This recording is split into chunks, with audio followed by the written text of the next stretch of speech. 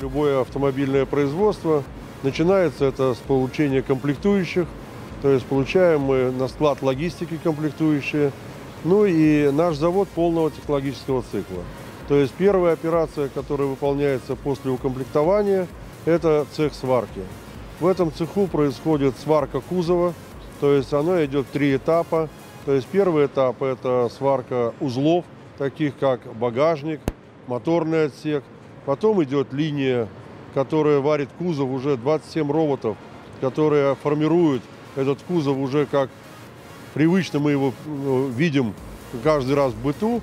Ну а дальше следующая операция, это к этому кузову навешивается капот, багажник, двери, чтобы были нормальные зазоры, перепады. Ну и тогда мы уже видим этот кузов такой, как он есть у наших покупателей. Э, дальше технологический процесс включает в себя окраску.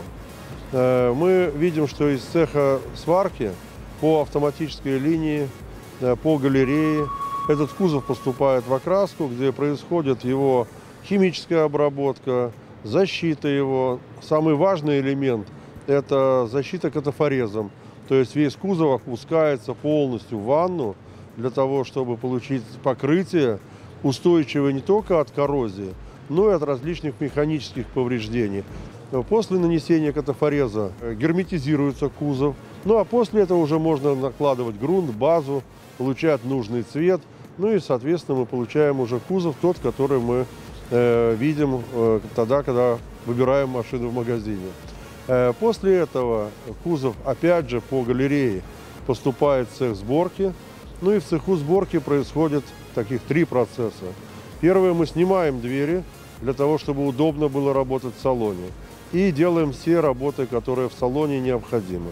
После этих работ э, кузов подается на так называемую линию шасси, где кузов находит уже свой мотор, свой задний мост, свои колеса, свои глушители, то есть трансмиссия находит кузов. То есть машина становится уже машиной. И поэтому третий конвейер – он включает в себя уже заправку жидкости, она уже на своих колесах движется, но э, для того, чтобы она могла двигаться самостоятельно, э, нужно заправить все жидкости, нужно вернуть на место двери, которые снимали и собрали параллельно, пока собирали автомобиль. И машина уже съезжает с конвейера. Вот сейчас мы как раз находимся в этой точке.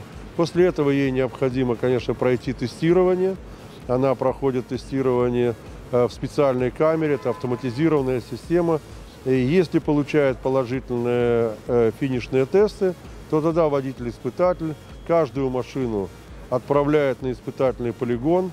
Уже все-таки человека полностью заменить нельзя, он смотрит, как это все происходит. Если нет никаких э, замечаний по машине, то она идет на финишную приемку, на склад готовой продукции и к потребителям.